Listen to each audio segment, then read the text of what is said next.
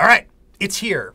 iPad OS. Well, okay, iPad OS 13.1.2. And maybe by the time you watch this, it's going to be iPad OS 13.2.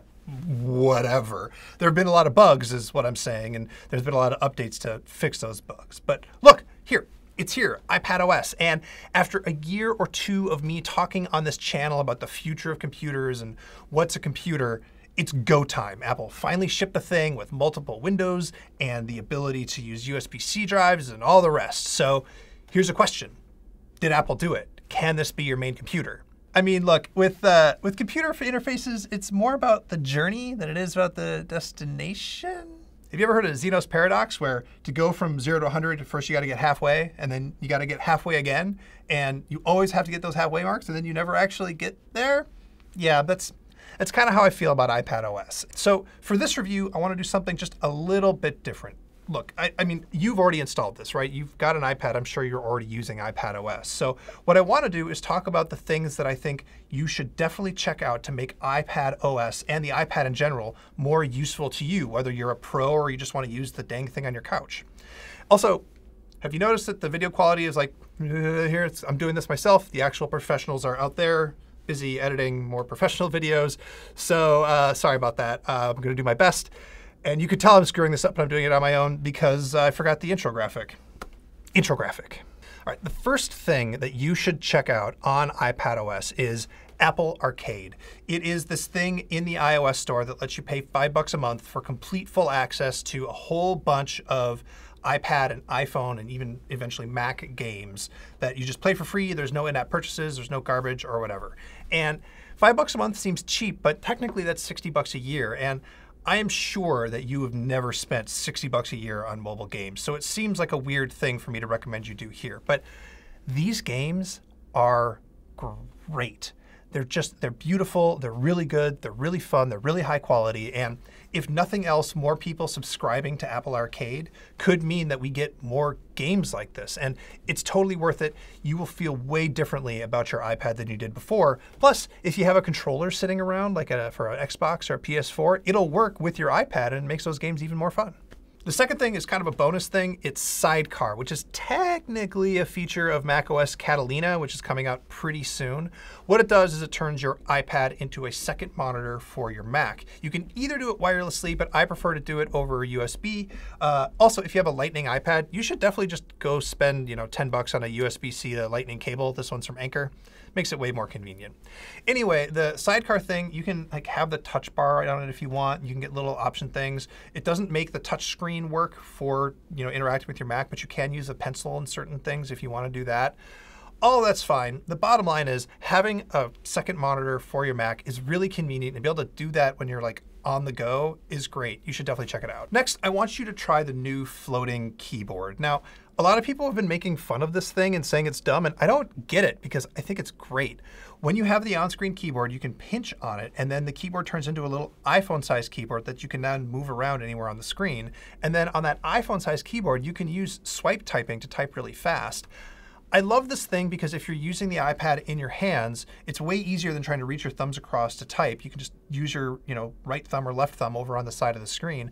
I also love it because it doesn't take up the whole damn screen. It's just a little box that floats over what you're actually doing. So you have a much easier time doing stuff when you need to enter just a little bit of text on your iPad. The next thing I'm going to recommend is that you play around with the new Files app. The new Files app is pretty great. I think it works better with cloud services. It supports USB drives now, which is awesome. And you can also also just set up local folders wherever you want on the iPad instead of only depending on iCloud, which means you can just download stuff from Safari, which it's all great. I love it. But it's not exactly like Finder on the Mac or Explorer on Windows. It still is a little bit iPaddy. And that's not necessarily bad, but it is different. And so if you are planning on having a workflow that really matters to you, you should play around with it at home or at the office or whatever until you know exactly how it's going to work and make sure that it works for you. In a previous video, I talked about not going into battle with an unproven rifle, uh, and that that's true with the Files app. You need to make sure you understand how it works before you work with it. So just poke at it, little poke. My last piece of advice for getting the most out of iPad OS is a little bit counterintuitive, and that's don't think about it too much. And I'm talking specifically about the windowing system because it is literally counterintuitive. iPadOS can do a bunch of new stuff with Windows. A single app can have multiple windows. A single app can have multiple windows in split screen. You can have two different apps in split screen. You can have a bunch of apps sitting in slide over. You can take icons and turn them into windows. You can take links and drag them and turn them into windows. You can do all sorts of stuff to make all sorts of windows and they like come out of nowhere and they fly around and you forget where they are and it's just it's a little bit confusing. And I've been thinking about this ever since I made that video where I talked about the grammar of user interfaces and I figured it out. The iPad mixes metaphors now. So on your phone, you use a time metaphor. You've got your current app and then your most recent app, and then when you go to multitasking, it just kind of it goes back in time. On your desktop, you use a spatial metaphor. So one window is here, one window is here, one window is here, and you move them around in space. The iPad literally has both. So the multitasking view goes back in time of all your most recent apps and split screens. But then there's also the spatial metaphor of, you know, the slide over apps over here and the split screens are set up this way. And Understanding how time and space are relative to each other and relate is great for Einstein, but for us regular schlubs, you can get a little bit lost. I can't tell you the number of times I've tapped an icon and expected it to show up in a certain way and it shows up in a completely different way. And what I've learned and what I'm telling you to do is not try and figure it out because the iPad is so good at apps keeping their state and opening them up quickly that if your setup isn't exactly what you want it to be, you can just make it what you want right then. Don't assume that your setup is going to stick around. Think of it like a like a like a Buddhist sand mandala where it's like it's a beautiful thing, but it's going to go away. Everything is ephemeral. Everything disappears. Uh, nothing is permanent, but it's still beautiful.